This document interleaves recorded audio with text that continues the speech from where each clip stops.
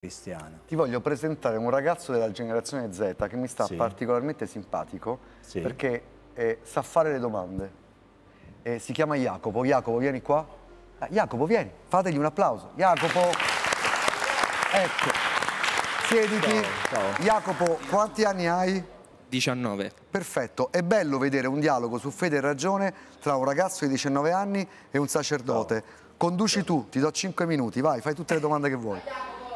Allora, la, la domanda che mi, sorge, anzi, che mi è sorta spontanea appena ho letto il titolo del nostro talk è stata immediatamente diciamo che l'accettazione della maggior parte delle teorie scientifiche, spero di non, di non sbagliarmi, eh, della maggior parte delle teorie scientifiche è tra virgolette cosa nuova per la Chiesa. Tra virgolette intendo, parliamo sempre di secoli ovviamente, però diciamo che ad esempio un, uh, un istituto come il Tribunale dell'Inquisizione a volte portava... Mh, a un contrasto tra queste due, diciamo, non, a me viene da dire filosofie, ma termini, è un termine ovviamente sbagliato, perché io metto da una parte la scienza e da una parte la, la religione.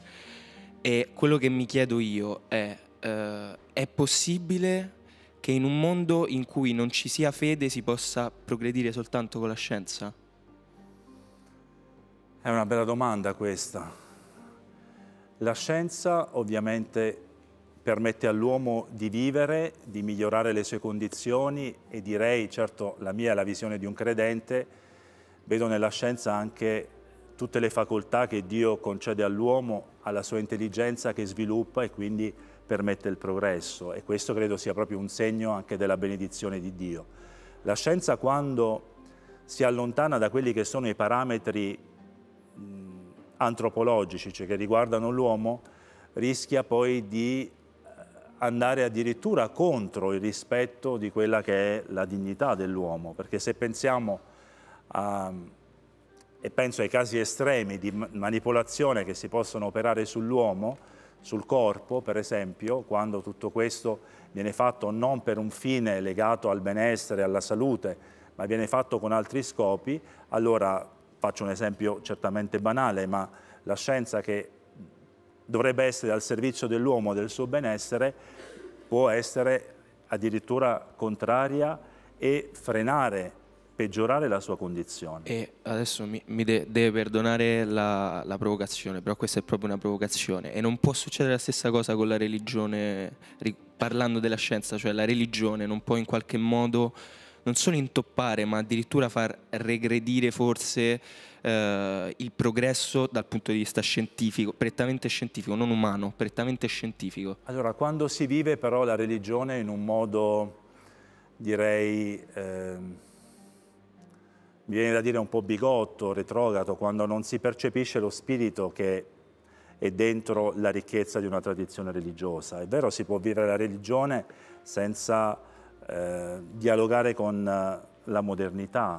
Devo dire che noi nella Chiesa Cattolica abbiamo fatto un'esperienza importantissima che è stato il Concilio Vaticano II. Negli anni 60 del secolo scorso la Chiesa ha riunito tutti i suoi vescovi del mondo intero a Roma per rispondere alle sfide del tempo presente per come annunciare e far comprendere il messaggio di Gesù oggi, volendo un aggiornamento, e un Papa conservatore, così veniva definito, Giovanni XXIII, che ricordiamo come il Papa buono, disse noi dobbiamo aprire le finestre, le porte della Chiesa, deve entrare aria fresca perché la Chiesa deve mettersi anche in ascolto del mondo e dialogare col mondo, rispondendo alla modernità, senza aver paura.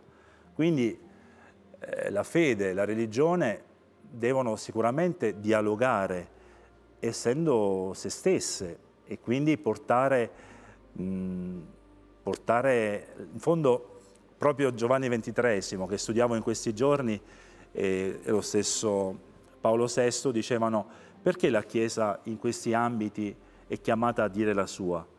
Non perché vuole imporre la sua visione, ma perché è esperta di umanità e allora vuole aiutare l'uomo a vivere pienamente la sua vocazione perché sia felice.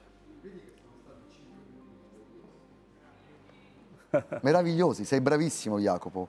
Bravo. Grazie. Bravo, dove, bravo. dove vai? Rimani là. Io mi metto al tuo posto e tu rimani là. perché è bellissimo. Questa cosa mi piace un sacco. E stavo pensando, quando ci saranno Walter Insero, co-conduci insieme a me. Facciamo metà conduco io, metà conduci te. Hai un'altra domanda da fare? Sì. Eh, volevo sapere, secondo lei, questa è un po' una curiosità e basta, dal punto di vista clericale, qual è la teoria scientifica più controversa e più difficile da accettare? Cioè non da accettare, da mh, mm, confutare e da far combaciare con gli ideali della Chiesa? Ma guarda, su questo io eh, adesso non me ne viene in mente nessuna, perché io non ho un approccio, cerco di capire quello che ogni posizione vuole dire, non ho una, eh, un atteggiamento contrario a priori. Certo, ci sono molte visioni che sono incompatibili con la rivelazione cristiana, quindi non solo con la dottrina, cioè la nostra fede cristiana si fonda sulla rivelazione, cioè su quanto Gesù ha comunicato e ci ha fatto conoscere, perché per noi Gesù è il figlio di Dio, quindi ha rivelato Dio. Quello che lui ci ha insegnato è quello che noi custodiamo nei dogmi, perché il dogma possa essere trasmesso di generazione in generazione, ma possa essere capito.